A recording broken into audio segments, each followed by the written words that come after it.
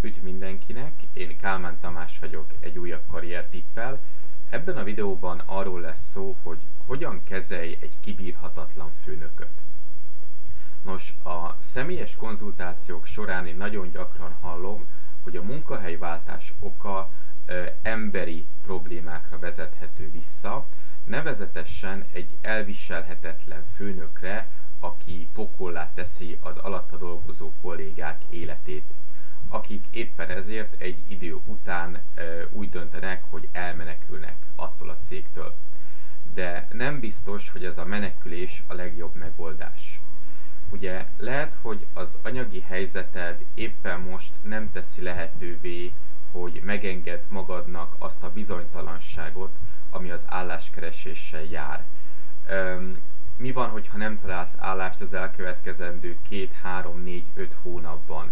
Mi van akkor, ha találsz állást, de az új főnököd még rosszabb lesz, mint a jelenlegi? Úgyhogy a bizonytalanságokat most tegyük egy kicsit félre, és nézzük meg, hogy mit lehet ebben a helyzetben tenni, ha nagyon elviselhetetlen számodra a főnököd. Nézzünk néhány alternatív megoldást. Az első, amit javasolni szoktam, az azt, hogy értsd meg a főnököd. Tudom, Értem, a jelenlegi főnököd egy vadállat, akivel egy szobában sem akarsz lenni, nemhogy megérteni őt, de, de hallgass végig. Elképzelhető, hogy ez az ember nem alapból ilyen. Tehát van valamilyen racionális magyarázat a viselkedése mögött, attól, tehát hogy ö, amiatt, ö, hogy ö, ilyen nehezen jön ki veled és a többiekkel. Lehet például, hogy az ő fejét is leüvölti egy magasabb főnök, aki, aki ugyanúgy dühös, mivel ez az ember nem hozza a számokat. Tehát lehet, hogy a főnöködnek is vannak félelmei, szorongásai, személyes gondjai, nehézségei. Tehát az első lépés az, hogy próbáld meg megérteni a viselkedését, hogy mik ö, ezek az okok. Ha ezek szakmai okok, akkor viszonylag könnyebb helyzetben vagy, mert te lehetsz a megoldások embere. Tehát kérj tőle egy konkrét időpontot, és állj elő valamilyen javaslattal a probléma kezelésére. Például, hogy lehetne ö, költséget csökkenteni valamilyen módon az adott osztályon, ami neki még nem jutott eszébe. Teljesen mindegy, hogy, hogy megfogadja ő ezeket a tanácsokat, vagy nem, azt kell éreztetned vele, hogy te az ő oldalán állsz, hogy megpróbálod könnyíteni az ő helyzetét. És remélhetőleg ezzel megváltozik a viszonya veled szemben. A második számú lépés. Mi van akkor, ha ez nem jön be? A második számú lépés az, hogy válts főnököt, ne céget. Tehát ha ez az első lépés nem segített, akkor sem kell feltétlenül elhagynod az adott céget. Hiszen ott ugye már eltöltöttél x évet, ö, valamennyire ismernek téged, tudják, hogy milyen munkát végzel. Ha jól végzed a munkádat, akkor valószínűleg nem akarnak téged elveszíteni egy személyes konfliktus miatt.